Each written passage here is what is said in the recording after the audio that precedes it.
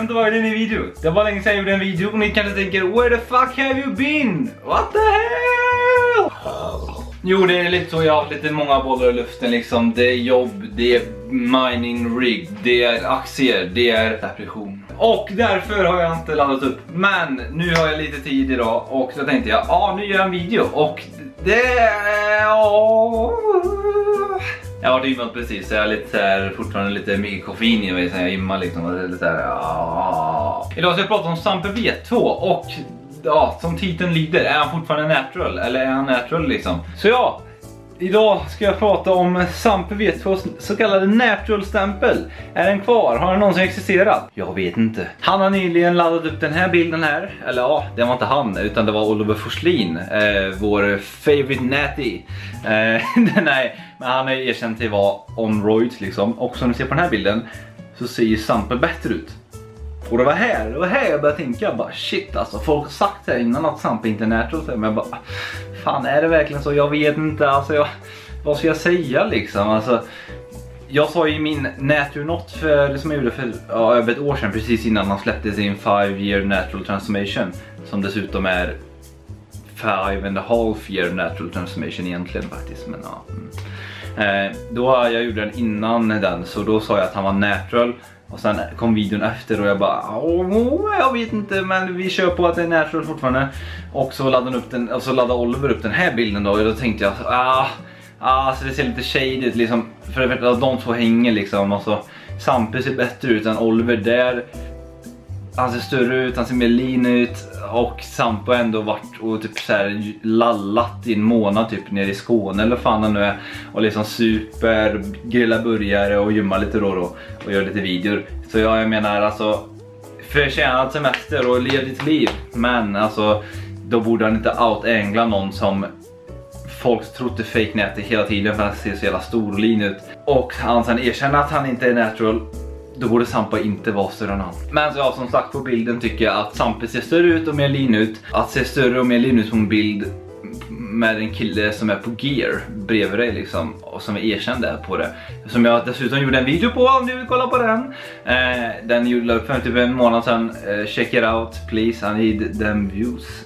Men som ni kan se på de här bilderna här så är Oliver ingen liten grabb och om ni har sett honom innan så vet ni att han är rätt stor liksom och eh, Ja, det finns en anledning till varför folk tror att han inte är nätig, eller han är inte det, men varför de trodde det innan han erkände det. Ja, det kanske, bara är, det kanske bara är vinkeln på den här bilden med Sampe som gör att han ser mindre ut.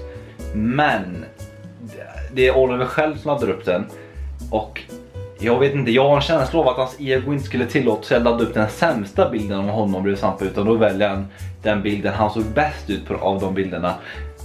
Alltså var det där förmodligen den bästa bilden han hade på de två när de tog bilder.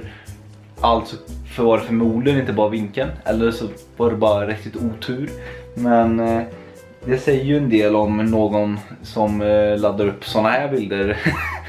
eh, laddar upp den här bilden med Sampe och liksom säger att eh, ja, eller ja, det säger ju en del liksom. Men som ni kan se på de här bilderna som Sampe laddat upp Ja, då ser han lika stor ut som han ser ut i bilden med Oliver. Och jag tror han väger så 84 kilo eller någonting och sådär liksom. Det är fan ett illa. Alltså, när jag vägde 85 kilo och 86 kilo såg ut så.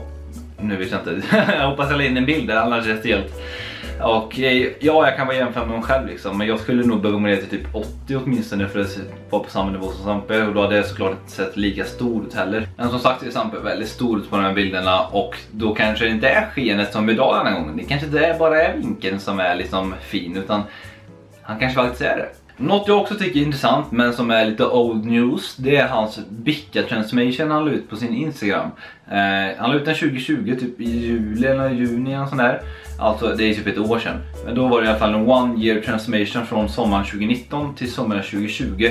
Eh, exakt samma dag tror jag, det var sån där Nocco festival grej tror jag. Eh, så här är bilden och eh, ja, som ni ser, alltså det är dag och nattskillnad liksom. Det Alltså, och han skriver också i inlägget att han tränade så mycket 2019 och då var det där med att han hade varit typ körtelfeber, fan det var något sånt. Eh, så han tränade ju knappt och bla bla bla. Men om du, om du bortser från ansiktet så det gick fan knappt samma person. alltså jag vet inte fan vad som hände där, alltså, jag vet inte. Visst att han faktiskt var sjuk då på den sommaren och det, det såklart ser sämre ut men come on liksom. Det, det, är det bara jag som tycker det, det är fett stor skillnad eller? Alltså så här, typ oroande typ så här kanske in i armen grej liksom. Sen så också en grej som oroar mig som jag har tänkt på med hans death eller oroar, det som gör mig lite tveksam till hans natural status också när det gäller hans death både i år och förra året. Han, enligt mina beräkningar, det kanske man inte kan kalla det, men eh, det känns som att han borde tappat mer muskler med tanke på hans jävla kraschdiet skulle man typ kunna kalla det. Till exempel, jag tror han började på 94 kilo och gick ner till 84 kilo på typ 50 dagar i år. Eh, och han började då defen på 2400 kalorier. Det är väldigt lite och jag tror till och med han körde lite cardio på det med. Alltså det är jätte... För en kille i hans storlek är det väldigt lite. Och då tycker jag ändå att han borde blivit påverkad mer än blivit liksom. För det känns knappt att han tappat muskler alltså om jag ska veta det. Känns, alltså det, det känns verkligen så. Och eh, det är vad jag tycker är lite konstigt. För jag började 4 kilo lättare än honom, alltså på 90. Och jag körde medvetet körde jag långsammare därför han gjorde liksom så här. Han har ju uppenbarligen tänkt på att han vill att det ska gå fortare, jag vill jämna ut det liksom. Men ja, jag började på 90 kilo i alla fall, han började på 94. Jag började äta 3000 kalorier om dagen plus lite cardio. Han började äta 2400 kalorier om dagen plus lite cardio. Om man tänker så här, jag tappar ändå vikt. ja, så han äter åtminstone 600 kalorier mindre än mig om dagen, vilket kanske inte låter som så mycket. Men det blir rätt mycket, speciellt i längden. Och det var han började på. Sen trappade han ner också. Jag behövde knappt trappa ner och tappade ändå vikt liksom.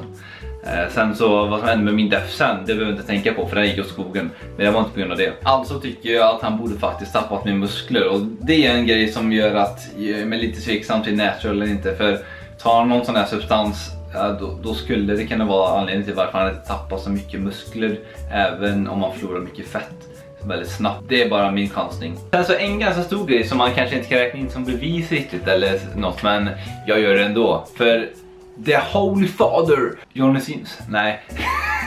The Holy Father of Natural Knots, Greg Doucette gjorde en eh, video på Sampe när han släppte sin 5 year natural transformation. Och så i Gregs video snackade han eh, om att han trodde att Sampe var on gear för att han gick upp för mycket vikt och hitan och ditan och bla bla. Och det, ja, ja, massa grejer. Eh, och han visade också hur lätt det var att förfalska ett sånt, eh, vad säger man, det polistestet han tog för steroider typ. Han visade hur lätt det var att förfalska ett sånt papper typ och grejer. Eh, vilket det är liksom, med lite photoshop, basic photoshop skills liksom så går det att förfalska rätt bra.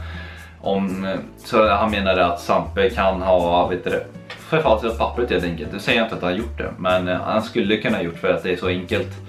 Och han sa också att det kan lika gärna varit så att Sampe är på Sarms Och det dyker inte upp på det där testet för testat för typ steroider, kokain och koffein typ. Nej men legit typ så. Så det är så att han kan lika gärna bara, de kan lika gärna testa för fel ämnen för polismyndigheterna är inte riktigt eh, on top of the game liksom när det kommer till nya substanser. Så ja, det säger Greg Doucette i alla fall. Och Greg Doucette är ju också king of natural not. Så om säger, han säger att Samp är unnatural, då kan det ligga något i det. Och jag har hört folk snacka om Gaino också, att han har det. Jag vet inte, jag fattar inte grejen. Jag ser en nippel och det är allt jag ser liksom. Så här, jag fattar inte om det är jag som är blind eller om, ja, nej jag vet inte. Upp, upp till er själva att bedöma. Men vad så tror jag nu, är han fortfarande natural eller har han aldrig varit natural? Liksom, jag vet faktiskt inte. Eh, men jag känner att det finns mycket som pekar på att han skulle kunna vara unnatural. Och med det sagt så säger jag inte att han är det. Det är ingen anklagelse. Jag säger bara att det kan vara så. Alltså jag är inte säker. Och jag är absolut ingen expert på detta så försök inte komma med någon fucking hat här nu och bara äh, vem tror att det är bitch? Jag är din pappa bitch. Tänk inte på att lämna den kommentaren för det är hjärndött. Jag fick inte utge mig för att vara någon expert på något sätt så bara släpp det. Utan jag säger bara att jag vet inte men det känns som det finns mycket som pekar på det. Och sen så en grej som jag tyckte också var lite så här halv eh, sass var lite när Sampe svarade i en video efter Gregs video. Där han eh, sitter jättedefensiv och irriterad och så för att Greg har sagt att han är unnatural. Sen exakt varför, det kan vara för att han fick lite så typ, jag vet inte om det var hat men eh, massa kommentarer om att han var unnatural från Gregs kanal liksom, massa som kommenterade det. Och att han blev liksom mentalt påverkad och därför var irriterad liksom.